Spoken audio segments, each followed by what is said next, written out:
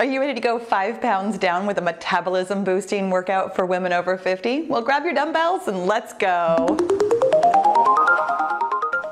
All right, beautiful bees, let's go ahead and get started. Have your dumbbells completely out of the way and let's get warmed up with some arm circles with high knees. You guys, welcome to the workout. I'm Pahla B. I'm your best middle-aged fitness friend. And around here, we are all about making peace with your menopausal body by finding a healthy weight and moving in ways that feel like self-love. And you know what feels like self-love? Finding that healthy weight with the 5-0 method, where every single day we do five things that make you say, oh, I had no idea it could be this simple to lose weight at our age. Every single day, we eat the right number of calories, which is not necessarily less than you were eating before. Every single day we drink the right amount of water, which is half your body weight in pounds, in fluid ounces of water.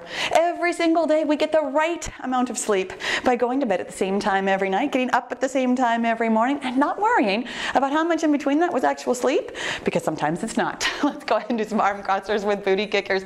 Every single day we get the right amount of exercise, which is not necessarily more than you were doing before, and it usually is a beautiful, moderate workout like this one.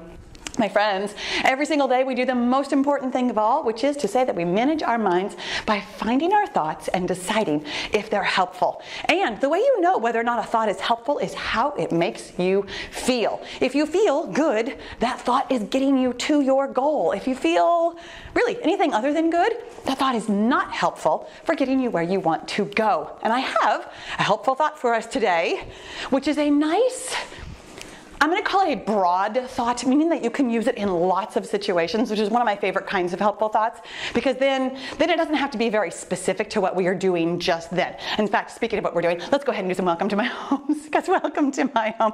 Blossom is very restless. I imagine she will be in and out of the room. I think you probably already saw her kind of wandering around in the background for a while too. I tried to ask her to join us today on the great chair, and she was like, yeah, no, no, thank you, not right now. Anyways, our helpful thought, really quickly is I can. Just that. Nothing, no qualifier on the end of it, no specificity to it. And I love this one because it can be applied in so many situations. You guys, here, let me, let me tell you what we can do today. I've got a great Metcon for us today, which means metabolic conditioning, which really just means cardio and strength back to back with absolutely no rest. I've got the handy dandy Gymboss here set for intervals of 20 seconds of cardio, 40 seconds of strength, and nothing in between. Take your time though to transition between the exercises there is nothing about this workout that we have to rush or hurry with. We've got another workout tomorrow. Don't you worry. you guys, let's go ahead and get started with some letter K's. Hands up overhead. Your body is forming the letter K on this side. and not the other side because because that's the way we do things around here. Actually, actually I was thinking about about how I name these exercises. First of all, let me tell you that we're going to grab the dumbbells when it beeps and we're going to do bent over flies. To stick your booty back out behind you just a little bit. You're gonna have your hands facing each other and then bringing your arms out so that your palms more or less face the ground. When it beeps again, we're actually coming back to those letter Ks. We're gonna do each pair of exercises two times in a row before moving on to the next thing. We're really thinking about going back and forth here between cardio and strength. It's a very different pace for each and we're always, always, always thinking about having excellent form and moving in ways that feel just right for you today, which today might be fast, might be slow, might be something in between. You can do anything you want. Here we come back to the letter K's. I love this helpful thought. We have used it actually in a variety of situations over the course of this year. We have said things like, you know, I can have anything I want. I can figure it out. I can do, I don't remember what the other one was. I looked it up. I can not remember right now. Here comes bent over flies for our second and final time. The reason I love this particular helpful thought is because I find myself like so much more frequently than I mean to or intend to, saying that I can't do something. By the way, when it beeps again, we're going to put the dumbbells down and we're coming to our next pair of exercises. And the cardio part is walking stars. We're going to pick an apple and put it in our pocket, stepping forward, forward, back, and tap. Hands go up and hands come back down while we're doing it. Of course, you're going to have your core pulled in. Of course, you're going to be thinking about excellent form and moving at a pace that feels just right for you. Here we go with walking stars. Forward, forward, back, and tap. When it beeps again, we're to pick up those dumbbells again and we're to just do plain old squats. Now, I'm telling you this in such advanced time because I know that lots of you don't like squats, can't do squats. And I want you to know, technically speaking, you can do anything, but maybe you don't want to for lots of reasons. I mean, really, physical reasons, like they're not very good for your knees, for you personally. By the way, squats are actually really good for your knees if you're doing them properly. But if you cannot, for one reason or another, your movement patterns have gone the way of not helping you with squats, then feel free to do any kind of kick you'd prefer. When it beeps again, of course, we're coming back to those walking stars for our second and final time, really thinking about moving at a strength pace when we're doing strength, as opposed to the cardio pace the when we're doing cardio. You guys, I hear myself saying things like, I can't all the time when what I might mean, here we go with walking stars, what I might mean is I don't want to.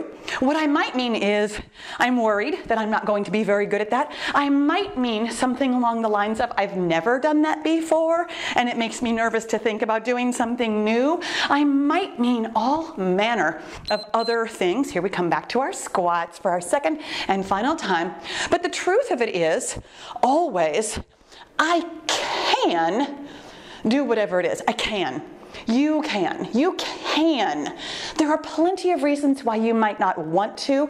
Some of them, some of them are physical, some of them are mental, some of them are worrisome, some of them are desire related. There are lots and lots of reasons why you might not do things. But when you tell yourself you can't, it really undermines your thinking about your capability. When it beeps again, by the way, we're doing punch, punch, kick. We're going to put those dumbbells down and we're coming back to our cardio pace. Punch, punch, kick. I really have to think about this. We're punching and punching and kicking, punching, punching, and kicking, going across your body. Whichever is the second hand to punch is the first leg to kick. And then we come back to that same hand to punch again. In my mind, this means that we're going across your body. When it beeps right now, we're going to go ahead and do deadlifts. Grab those dumbbells, pull in your core, straighten your back. You're thinking about pushing your booty back, back, back, back, back, and then pulling your booty forward, forward, forward, forward, forward. This motion is absolutely guided by your hips, thinking about where your hips are in space and time rather than your torso. If you are just bending over, there's a good chance that you are not getting this work in your glutes the way that it is intended. This is a butt exercise, and the way you do that is by using your butt. My friends, when it beeps again, we're coming back to that punch, punch, kick. Really thinking about using excellent form. And here we go with punch, punch, kick. Boom, boom, and kick. I noticed I'm going to say somewhat recently, like probably within within the past year or so, was when I really started noticing how often I was telling myself I can't do things. When it beeps again, of course, we're going to do those deadlifts again for the second and final time. And I hadn't honestly ever thought about it, like truly ever thought about it until I did, which is pretty much how all of this mindset work goes. We don't think about the things that we're telling ourselves. We just don't think about that automatic voice in your head that's repeating something like, I can't. This was a thought I have had about so, so, so many things in my life that I'd never recognized it as being unhelpful until I did. When it beeps again, you guys, we're doing pretzel tree jacks because pretzels grow on trees. As of now, the pretzel tree jack is my beautiful combo name because I couldn't decide between them and so I decided we're doing jumping jack with our arms and a tree pose with our lower body. Couldn't decide between pretzel jacks, pretzel jacks and tree jacks, and so I just gave it both names because that's what I can do. Wouldn't it be this again? We're doing three point crunches. Gonna grab those dumbbells, have elbows pointed out to the side, and then we're gonna bring up one high knee at a time and bring those elbows in to bring those three points together. Really get yourself set in between. Really thinking about having your core pulled in by squeezing those elbows back. You are squeezing from the middle of your shoulder blades in your back. Weirdly, this is both an ab exercise here with the crunch and a back exercise when you open up those elbows. When it beeps again, of course, we're gonna do those pretzel tree jacks for the second and final time.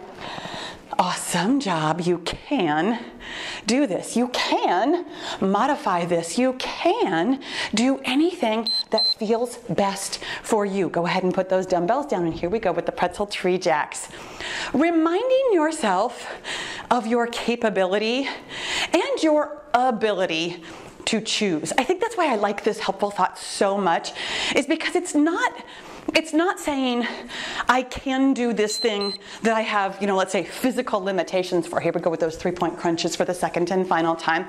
It's not it's not lying to yourself about what you can do. It is reminding yourself that you can choose. You could choose anything you want rather than thinking of yourself as being powerless against certain limitations or certain dislikes. I'm actually even thinking about, like, for example, I know, I know some of you will be deeply offended by this. By the way, when it beeps again, we're doing double knees. I don't like mushrooms. Like, I just don't like them. I don't like to eat them. They don't taste good to me. And people really have strong opinions about mushrooms, I have noticed when I talk about this in public. So rather than thinking to myself, here we go with double knees, hands up overhead, two knees lifted on one side and then two knees lifted on the other. When it beeps again, we're gonna do peekaboo side steps. Another great exercise for your middle back. Always working on our full forward and back chain. You guys, when we do any kind of an exercise around here, I tell you what, I am always looking to get the most bang for our buck. Pull in your core, elbows at shoulder height. We're gonna close those elbows. And then as we step to the side, we'll open them up. Feet together, hands together, or rather elbows together feet apart, elbows apart, stepping to the side, stepping together, stepping to the side, stepping together. Excellent job. When it beeps again, coming back to those double knees, making sure you're breathing, making sure your core is pulled in. This exercise right here is why I chose to only do strength for 40 seconds. instead of any longer. Because I can do this exercise for longer. Here we go with double knees. But I choose to do things in a way that feels really good to me. I can eat mushrooms. I'm capable. I could put a mushroom in my mouth, I could chew it, I could swallow it, I could have this exact stinky face expression the entire time I'm doing it. I can eat mushrooms. Here we go those peekaboo side steps for the second and final time. However, I choose not to. I can. I'm capable. I want you to really, really think about that when you are telling yourself. And I don't mean that you're telling yourself like consciously on purpose. This is why I told you the story to begin with, that I didn't realize how often I was saying it until I did. I'm pointing it out to you so you can notice how often you're saying it to yourself. When it beeps again, we're doing butter churns. Gonna put these dumbbells down. Hands are gonna face your body, starting at the bottom, and as they come up underneath your chin, nope, as they go down from your chin, that is when one leg comes out to the side. You can, honestly, do this exercise any way that feels good to you. If, if it happens that your hands are up when your foot is up, that's completely okay. You can do this exercise any way you want to. When it beeps again, we're doing a curtsy front punch. So it's, I'm gonna call it a curtsy lunge, but honestly, I'm not coming down too deep of a lunge. It's a, it's a kickback. It's a step back. And we're going to, or cross back. That's the word I was really trying to say the entire time. and then we're going to do a front punch. Whatever you do with your legs, if you would prefer to kick, please prefer to kick. Remind yourself that you can modify, moderate, make this workout work for you rather than thinking, I can't about any, anything, anything, ever. You can, but you'd probably be in pain. You can, but you'd injure yourself. So, of course, you're choosing not to. When you think about all the things that you can do, but would prefer not to. Here we come back to the butter churns. It feels so different than telling yourself you can't. And I really, this, this is the crux of everything we talk about, this brain-body connection. The brain thinks a thought, the body feels a feeling. And sometimes, sometimes we're not paying attention to that connection. Here we go with that curtsy front punch again. And so therefore, we continue thinking things with our brain that our body does not care for the feeling of. When you start tuning in to your body, lots of great things happen. First of all, first of all, you'll get better fitness gains. But second of all, you'll recognize when you're telling yourself something that isn't helpful. When it beeps again, oh my gosh, okay, I really gotta think about this one. This has been a very thinky workout for me today. We're doing letter C C's. That's the one where our hands are forming the letter C. We're gonna do this a single-sided way because we are coming back and doing the pair of exercises twice. So we're gonna make the letter C on one side, which I'm pointing that way because, because the letter C is when I am pointing to the kitchen where the cookies are. Do I have cookies right now? Oh, I do. My mom brought cookies over last week. I have some, I have some cookies in my freezer right now. And so the next time we do the letter C, it will be not the letter C. But we are pairing this with crossbody crunches. Gonna grab those dumbbells again as we do. Elbows are out nice and wide. You're gonna reach your opposite elbow towards your opposite knee.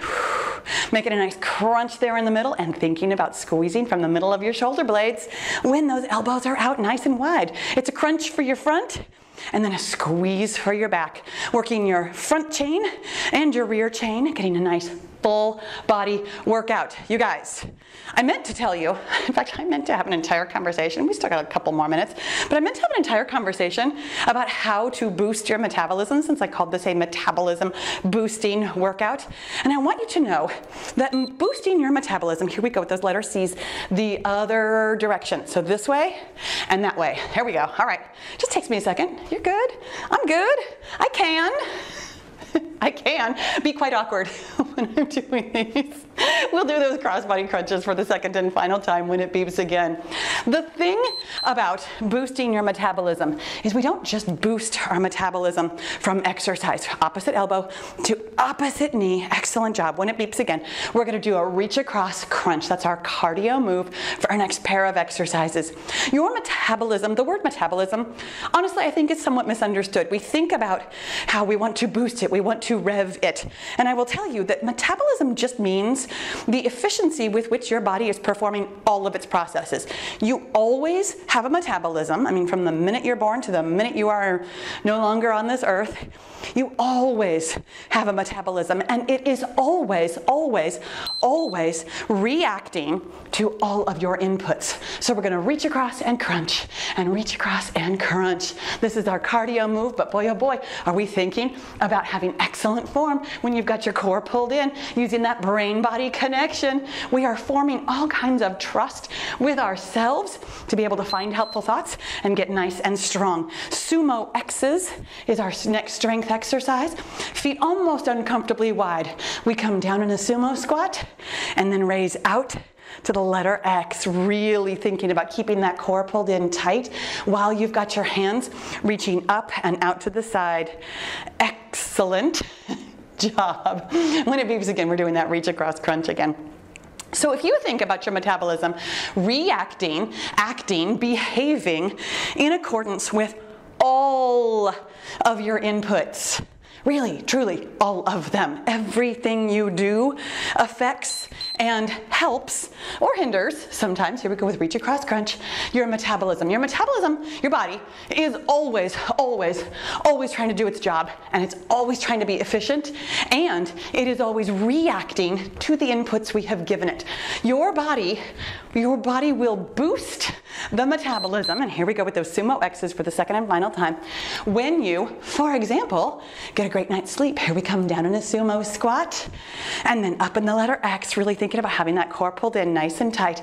Your metabolism will be boosted when you are fully hydrated. Your metabolism will be boosted when you are eating the right number of calories. In fact, your metabolism has a very difficult time when you are not eating enough. You will boost your metabolism when you eat. I know, right? And, and this thing that we think of as metabolism boosting by doing exercise, sometimes, here we go with skiers. Hands are going up and down in front of you. Feet are shuffling forward and backwards underneath you. This is our last pair of exercises in our regular workout. When it beeps again, we're only gonna grab one dumbbell. We're gonna go overhead to high knees. We're gonna grab that dumbbell by the, by the long horns, one in each hand, and have it up overhead, pull in that core, bring it down and bring up one high knee at the time. Really thinking about moving from your shoulder blades when the dumbbell is up overhead and squeezing, squeezing, squeezing from your core and squeezing those abs as it comes down to one high knee at a time. You are boosting your metabolism with exercise right up until you are not because you have over-exercised and your body has to start catabolizing your muscles for energy instead of operating efficiently. My friends, you are not only boosting your metabolism by exercising. Here we go with those skiers for the second and final time. The best way, in fact, to boost your metabolism is by doing all the things that we do with the 5-0 method. You knew I was gonna tie that back around, right? when you are taking care of your body, taking care of all of your body's inputs that you actually have some control over. There's plenty of inputs we don't have control over. Focus on the ones that we do. Go ahead and grab that dumbbell and here we go with overhead to high knees. The fact of it is, the five things that I mentioned in the 5-0 method, food and water and sleep and exercise and mindset management, those are the things that we have the most control over, the most direction of in our lives. When it beeps again, by the way, we are done, but we're not quite finished. I have one more pair of exercises that is our built-in finisher. We're gonna do Drinky Bird Jacks for our cardio exercise. Here when it beeps again, really thinking, whew, doggies, about moving at a cardio pace, but also having your core pulled in nice and tight so that the balance work is part of what we're doing as opposed to not part of what we're doing. Truly, when you move at a cardio pace, sometimes you can kind of fudge over the fact that your balance is not amazing. But don't worry, we're gonna figure that out when we're doing the strength portion because of course the strength portion is Birds. We are gonna alternate back and forth. This is just one interval of Drinky Birds as a strength exercise. Probably only gonna get one or maybe two in on each side. We're really thinking about having that core pulled in nice and tight, back stays straight, thinking about pulling that leg up behind you, keeping your hip even and pointed at the ground instead of letting that hip come up and out to the side. The next time it beeps, you guys, is the last time it's going to beep. Oh my goodness, what a great job you've done. Beautiful concentration. And that was it. Oh my goodness. What a fantastic workout. I'm gonna wait for this to turn off. There we go. And then I'm gonna put my dumbbells down. And let's cool it down. My friends, I really hope that, well, I really hope that our conversation today was helpful for you always. Always. I mean, I know, I know sometimes at the end of the workout, it's the endorphins talking. That felt amazing. Thank you, Pahla. And I totally appreciate that. But I also hope, I also hope that when I give you information about your metabolism and about your thoughts, that it's something that can help you not just during this 20 minutes that we're together, but throughout your day, recognizing that your body is always, always, always working for you, and you can do anything you choose to do. You guys, you did such a great, great job on this one today. Thank you so much for working out with me. Let's open it up nice and wide ah, and give yourself a big hug and a pat on your beautifully, moderately sweaty back. It was just right today. And recognize that doing more is not always better for your metabolism. Paying attention to your brain body connection. What is your body telling you about the inputs that you're giving it, both mentally and physically, emotionally, all of the things? Paying attention to your brain body connection is the way to get where you want to go. Thank you so, so, so much for working out with me today. Make sure that you hit that subscribe button before you go, and I'll see you tomorrow.